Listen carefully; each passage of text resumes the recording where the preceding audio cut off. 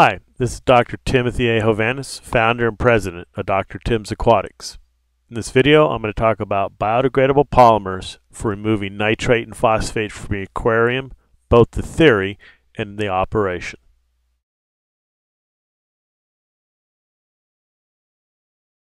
First, we have to talk a little bit about terminology. This is being called probiotic in the reef keeping hobby, and this is incorrect. Probiotics are defined as living microorganisms which, uh, when administered in adequate amounts, confer a health benefit to the host. Removing nitrate and phosphate from water with bacteria is not probiotic.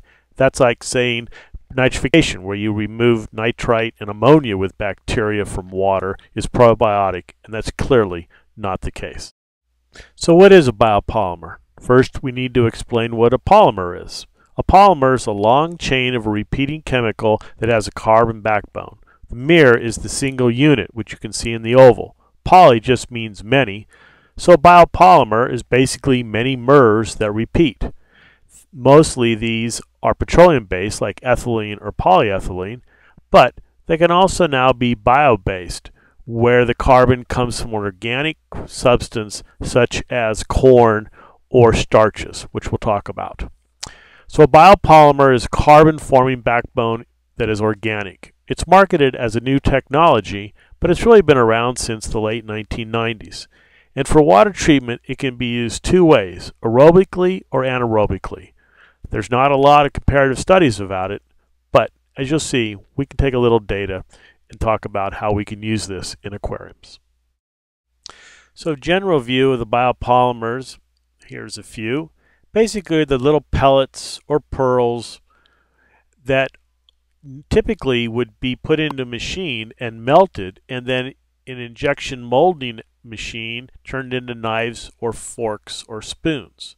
But for us, it's perfect because we can put these in a reactor and fluidize them and get the bacteria to grow right onto the biopolymer. Now, what's the source of the biopolymer?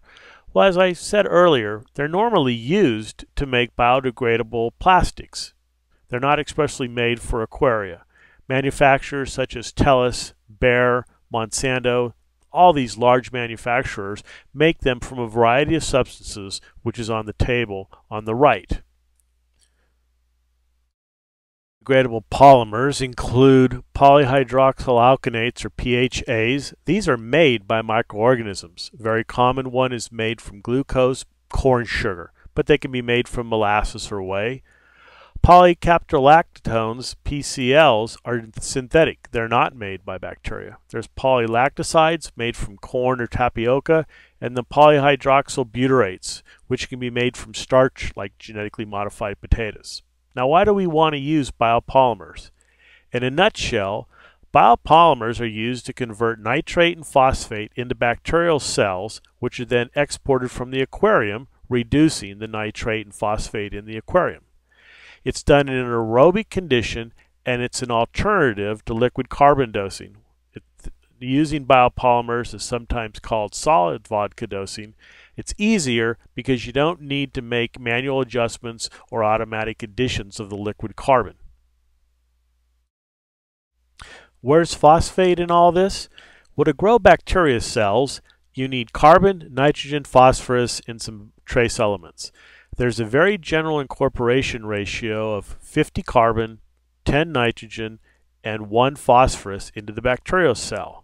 And the idea is to use the biopolymer as a source of carbon to grow bacteria, and the bacteria grow, they remove the nitrate and the phosphate from the aquarium. Standard operating method is, as I mentioned, have carbon, nitrate, and phosphate produce bacterial biomass. The polymer is both the carbon source, so you don't have to have any external carbon added to your aquarium, and the media structure for the bacteria to grow on. It's done in an aerobic environment. The bacteria, while not studied to the genus species level, are probably bacillus.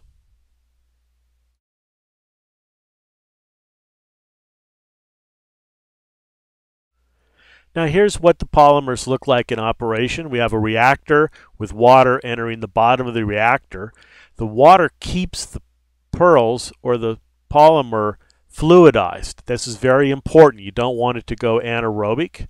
As the water passes over these beads, the bacteria will start to grow on the beads. It is their structure. And the bacteria will also consume the beads as they grow. And as they grow, once again, they're going to remove nitrate and phosphate from your system.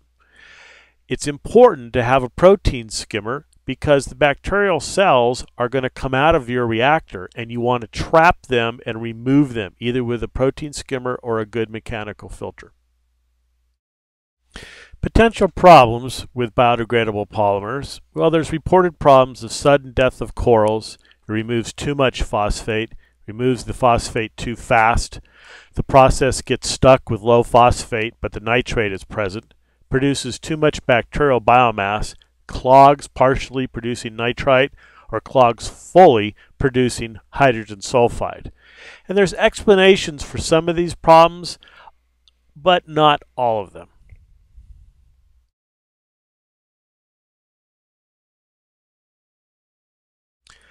The most common reported problem is the process gets stuck or stops. But this is kind of natural because as I mentioned before, you need carbon, nitrate, and phosphate. If one of those substances runs out, the process is going to stop because the bacteria won't be able to grow. Typically, phosphate will be depleted first, leaving nitrate at measurable levels.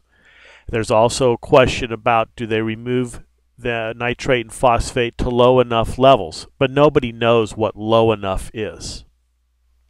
A recent study in Advanced Aquarist magazine, the March 2011 issue, asked the questions Is carbon limited in an aquarium, and are bacterial numbers low in an aquarium compared to the wild? Because if carbon's not limited, and there's lots of bacteria in an aquarium, why do we need biodegradable polymers in the first place? The study conclusions were that bacteria are definitely lower in tanks with active uh, protein skimming compared to natural reefs.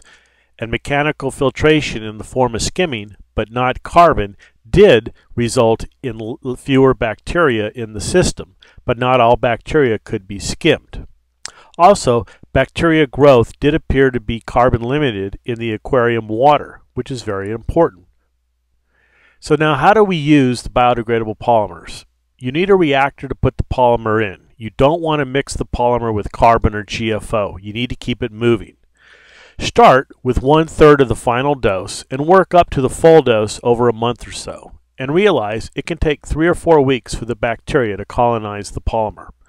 The polymer will be slowly consumed, so you're going to need to replenish it periodically. Don't wait till it completely runs out. The polymer should last six to nine months, but that depends on your tank conditions. You need a good skimmer or mechanical filter to remove the bacterial biomass. And finally, if the polymer does go anaerobic, it's clogged up, it turns black, need to shut it down, get the reactor off the system, and clean it up. Now, in conclusion, biodegradable polymers offer another choice for managing nitrate and phosphate in your aquarium. But they are a tool. They can be abused, they can be misused, and they don't make up for poor husbandry. Understanding how to use polymers and what they can do for your system can be important, but they're not going to cure your bad habits. Appreciate your time. Have any questions? Please contact us at info at drtimsaquatics.com. And until next time, good fish keeping.